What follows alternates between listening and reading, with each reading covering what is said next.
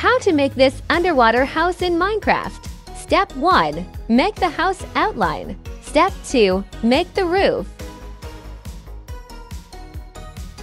After that, be sure to make a door. This is useful for players building this in survival mode. Step 3. Fill your house up with an easy-to-break material. After you're done placing the material, break it all. This will make it so that there is no water in your house. Now, customize your house.